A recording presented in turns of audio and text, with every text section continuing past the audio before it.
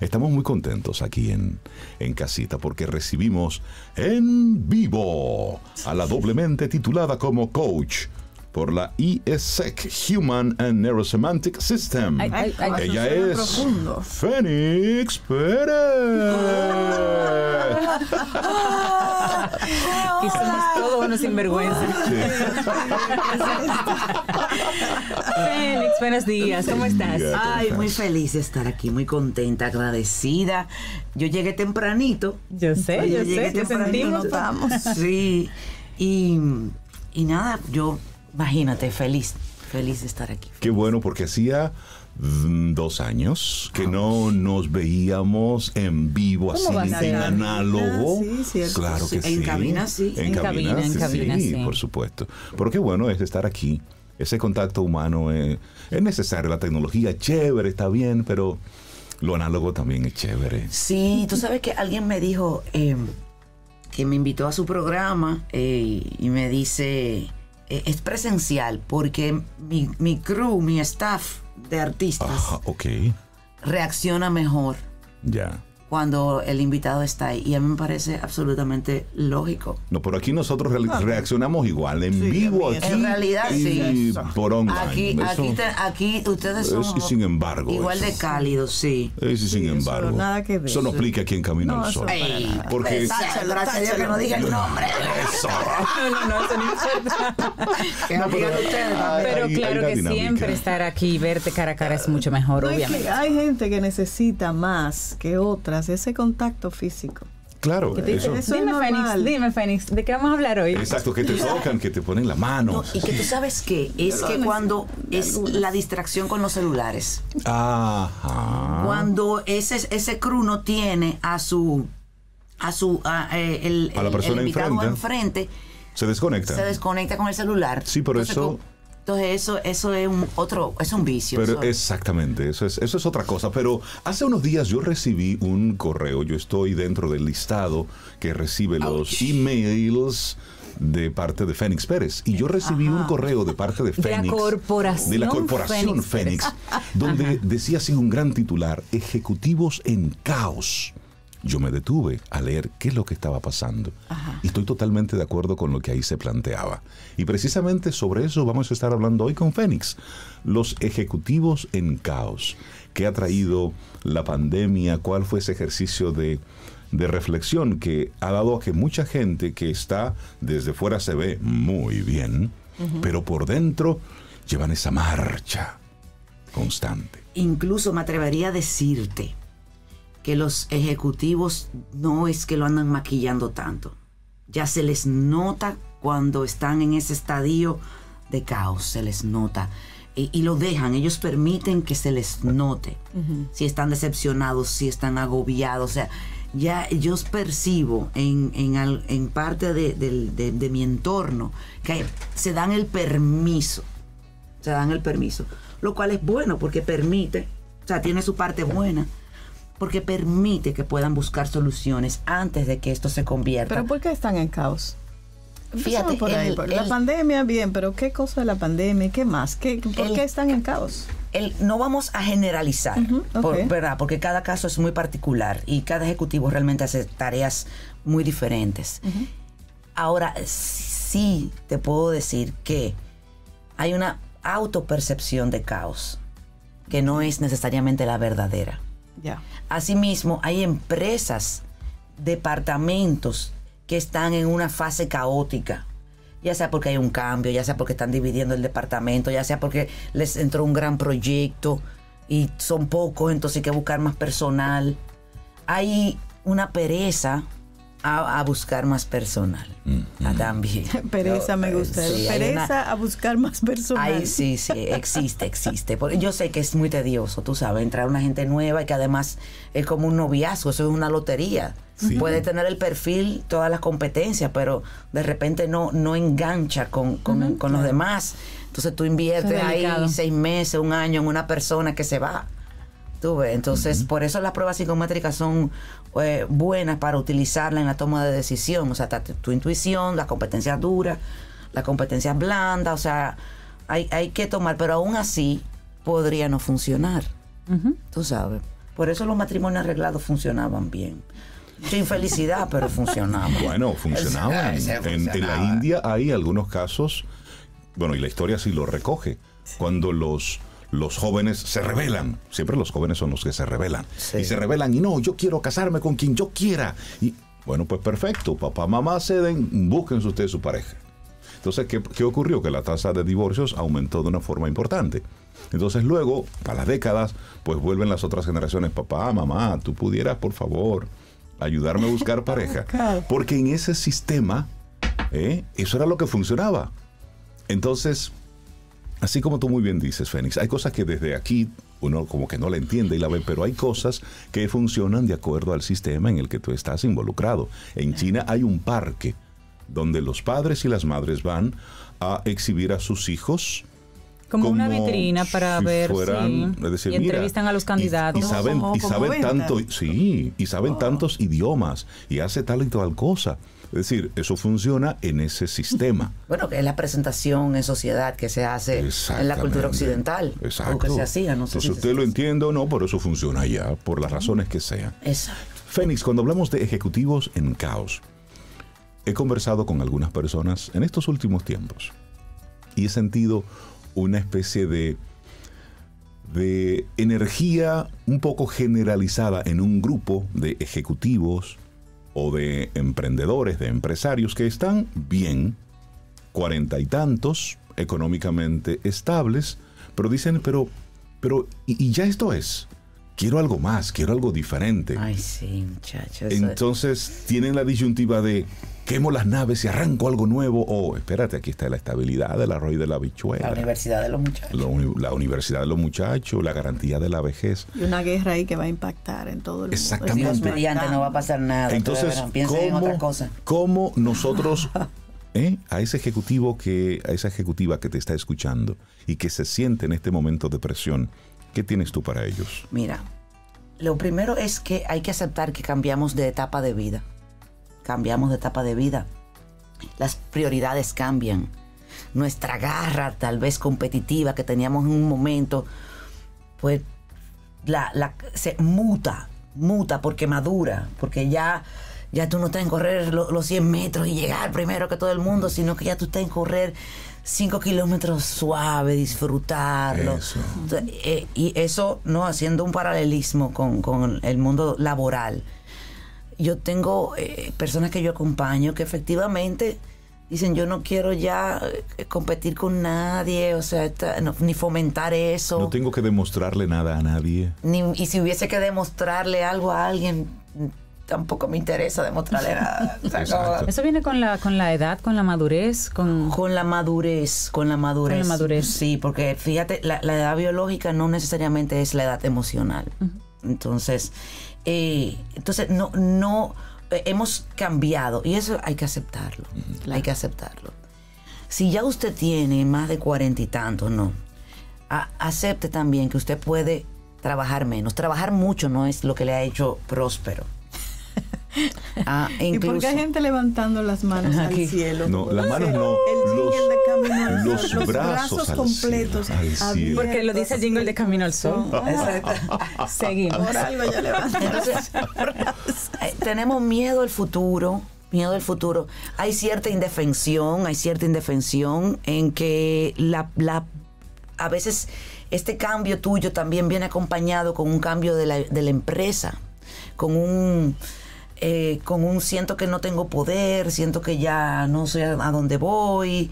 eh, no, no puedo cambiar nada, pero no es que tú no puedes cambiar nada, es que tú no estás en eso, en lograr eso. Y muchas veces no quieren, perdemos el ímpetu de hacer lo que antes hacíamos. Yo, antes cuando yo trabajaba, por ejemplo, en, en, en lo que yo trabajaba antes, pues yo era, yo hacía de todo, de todo.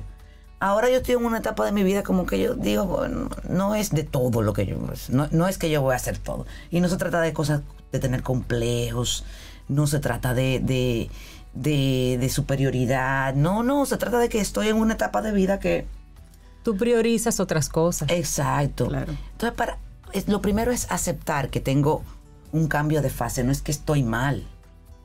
Porque mal con relación a qué. Correcto. Hay un cambio y punto. Y ese cambio lo estamos sintiendo. Yo he tenido casos así, que en realidad vienen más jóvenes todavía. Dicen, Fénix, ya yo tengo mis tres hijos. Un compañero, y me pasó también con un hombre, una compañera maravillosa, o sea, mi pareja. Estamos, estamos acompañados nosotros. Eh, ya hice mis dos maestrías, es un caso específico que estoy recordando. Hice mis dos maestrías, ya estoy, eh, ya estamos viviendo fuera. Pero, ¿qué sigue? Porque ya como que yo cumplí como el bucket list de profesional ya. El árbol le falta sembrarlo. ¿Qué sirve? Y eso. Había reforestado. Escribir el libro, sembrar el árbol, sí. Claro. Fíjate, porque nosotros no sabemos Oye, ejercer nuestra libertad, no sabemos ejercer no, nuestra nada. libertad. Siempre queremos que alguien nos diga, nos dirija, para poder incluso revelarnos.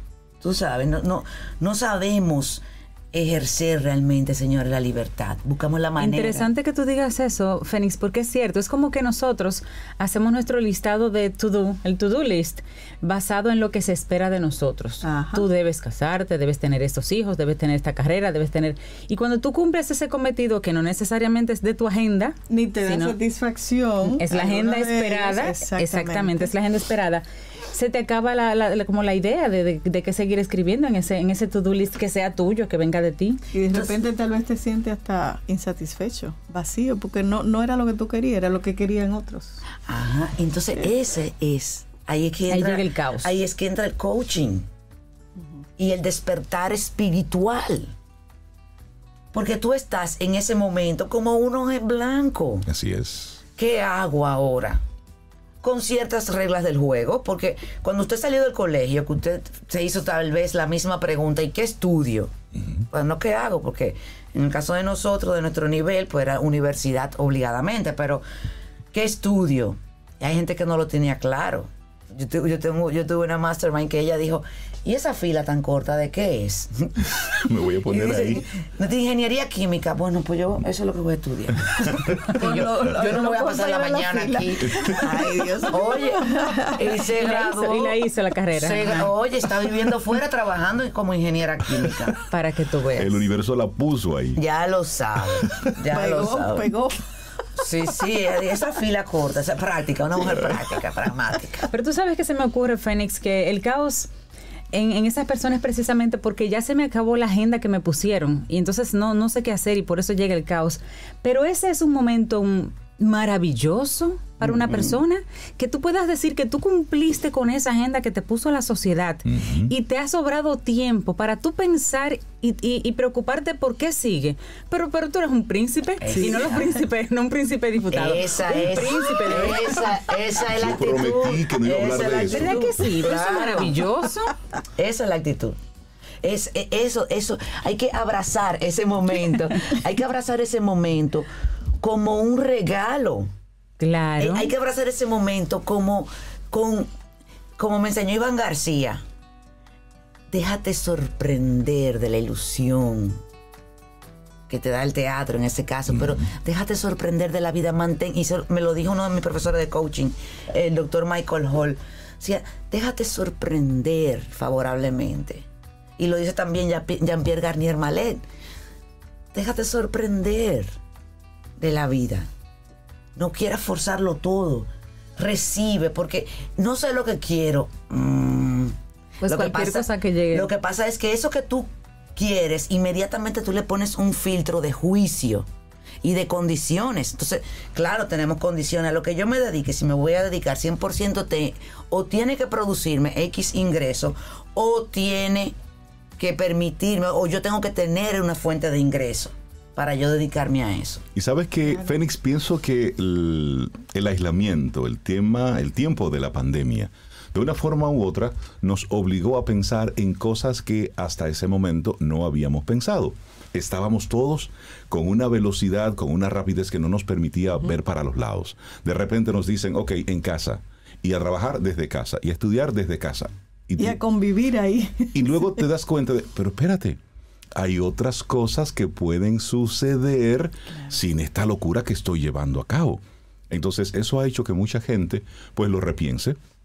Se ha visto, por ejemplo, como en países como Estados Unidos, personas que se mantienen trabajando eh, en la virtualidad, bueno, pues han, se han ido de las ciudades caóticas de Nueva York, de Los Ángeles, y han buscado lugares más tranquilos, buscando esa calidad de vida. Exacto. Y entonces creo que eso es lo que ha también invitado a mucha gente a, espérate, pero ¿y si yo puedo hacerlo diferente? Claro. Así es. así es. Claro.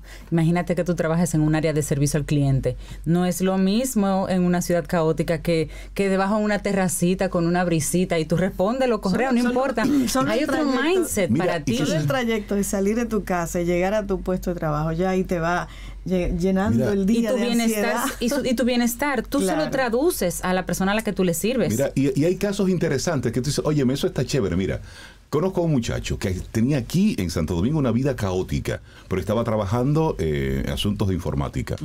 Y en pandemia, me voy para Cabarete.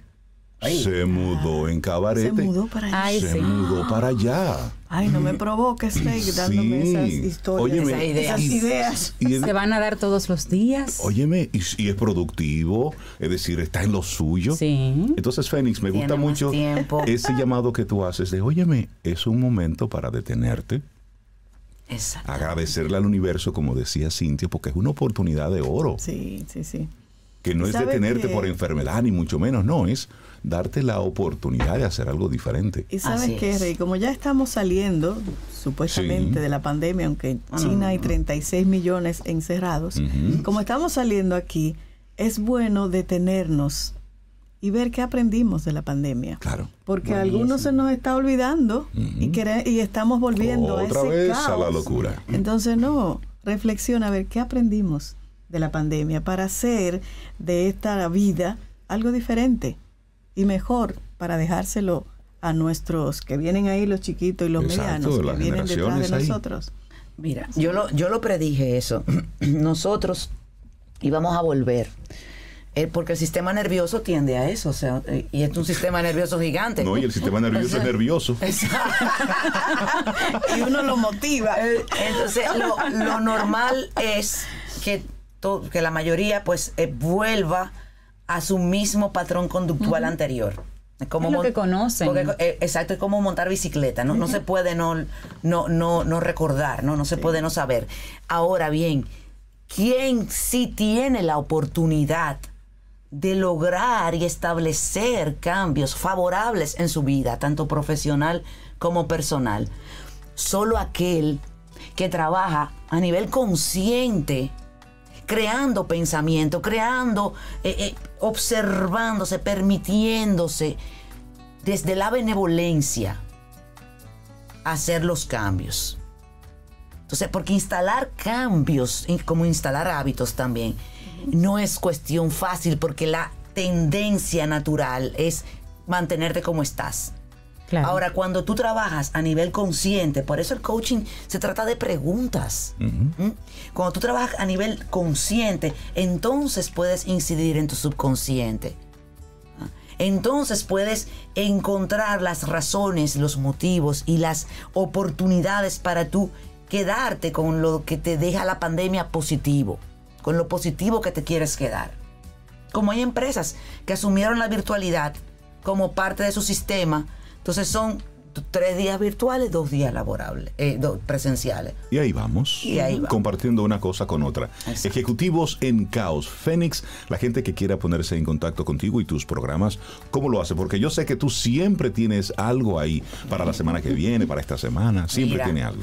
Primero, para ver el artículo al que haces referencia, el escrito mío, eh, más que un artículo es un escrito, ¿no? Eh, es- pueden ir a fénixperez.com fénixperez.com, esa es mi página, ahí pues aparece de entrada los, los, los escritos, este está arriba, se ve de primero, y también está la tienda, ¿no? Eh, para, ya tengo para dentro de dos semanas un proyecto que se llama Camino.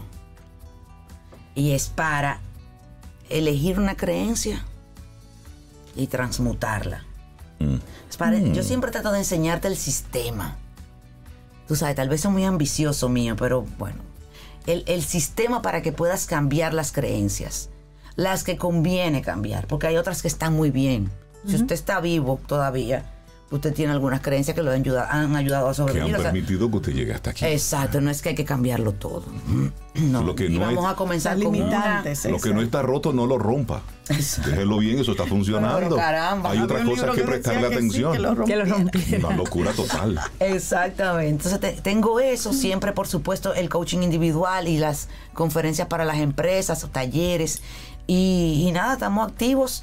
Ten- y por un lado volviendo, por algunos clientes si quieren que sea presencial, otros no. La experiencia que quiero agradecer públicamente a mi equipo, a los participantes de Mental Fit, fue lindísima. Fue mi, mi primer trabajo presencial después de pandemia. Eh, como yo dando un taller, tú sabes, porque ni los masterminds han vuelto a ser presenciales.